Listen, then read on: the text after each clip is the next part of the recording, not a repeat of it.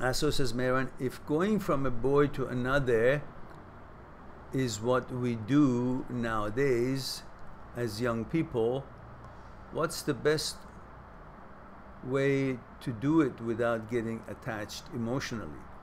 Oh, you can't ask me because uh, it's up to you to decide that. Especially, uh, you know,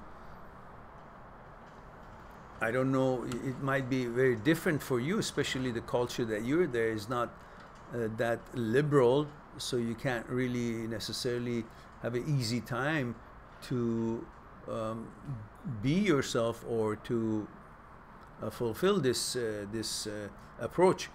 Um, but if you could, then you could make it very clear uh, to your um, candidates that you just want to be uh, having a um, um, experience in that relationship and you don't want anything serious you just want to see where it goes how it goes and how long it goes. So that's clear for them. And then having said that obviously they're going to treat you like shit because in that culture they're probably going to kind of label something on you and think that you're an easy girl and so on but if you find the right guy who understands that you just want to be boyfriend, girlfriend, and um, nothing more, but then again, who's going to invest on you as far as their time and energy when they know the girl is really not serious in a relationship? I don't know what kind of a culture is there, but from um, what I know about that neck of the wood, um, it's not going to be that easy to create that kind of a reputation for yourself. Um, so at least don't come out and say, "Hey, I just want to have sex," or "I just want to be, you know, uh, try this relationship." Uh, just see how it goes. If it wasn't good, go to the next one.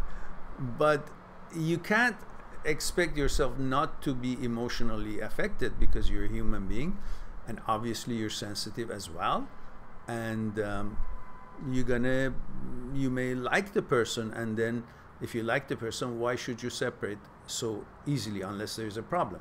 And when there is a problem then you focus on the problem and you move on. You know there's now no magic that i can tell you right now unless you just simply want to shut your emotions and say you're just there for fun. That's a different approach.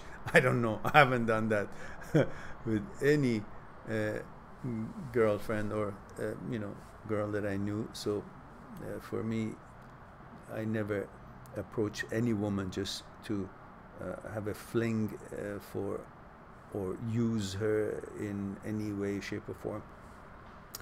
Uh, and if there was anything uh, that one wants to experience, must be very clear and honest at the beginning, especially men to women. Uh, so no woman would be used or misled or abused thinking that it's a real relationship but the guy just wanted to have sex or fling. If that's what you want tell the girl that listen i'm not looking for a relationship. I really like you. I just want to have a sexual relationship. And see what she chooses. If she chooses then your you know your conscience is clear because you didn't mislead someone you didn't trick you didn't manipulate. You let her make the decision and have a voice in that choice. Hey, that rhymed. Voice in that choice. All right. Let's go forward. And yes, so thank you reminding everybody, please do click on like if you're enjoying this stream. We need to be uh recognized